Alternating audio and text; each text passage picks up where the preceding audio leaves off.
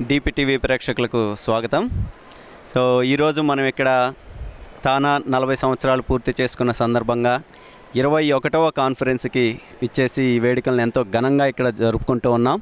So దానిలో భాగంగా మన తెలుగు వాళ్ళు అలాగే రకరకాల ప్రాంతాల నుంచి రకరకాల భాషలు ఉన్న వాళ్ళందరూ కూడా ఇక్కడికి విచ్చేసి దీన్ని బాగా సెలబ్రేట్ చేసుకుంటూ ఉన్నారు. సో ఇక్కడ ఈరోజు మనతోటి మన డాలస్లో ఉన్నటువంటి ప్రముఖ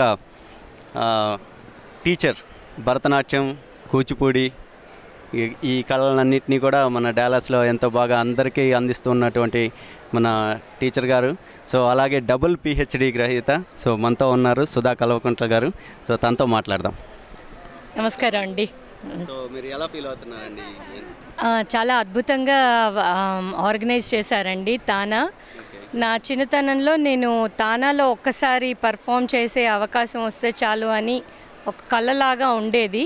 అలాంటిది పోయినసారి నేను తాలా తానా కాంపిటీషన్స్కి జడ్జ్గా రావడం ఈసారి తానా మరి లిటరేచర్ ప్రోగ్రాంలో నా పరిశోధన ఒక ఒక టాపిక్ లాగా నేను ఇక్కడ ప్రజెంట్ చేయడం నాకు చాలా చాలా చాలా సంతోషంగా ఉంది.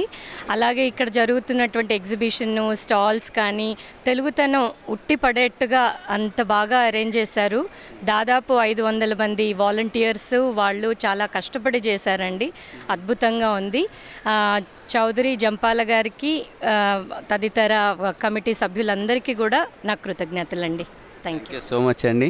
సో మిమ్మల్ని డాలస్లోనే కాకుండా మళ్ళీ ఇక్కడ సెయింట్ లూయిస్కి వచ్చి ఈ తానా ఇరవై ఒకటవ కాన్ఫరెన్స్ సందర్భంగా కూడా మమ్మల్ని మళ్ళీ మిమ్మల్ని కలవటం మాకు ఎంతో ఆనందంగా ఉంది. థ్యాంక్ యూ సో మచ్ అండి. Thank you thank you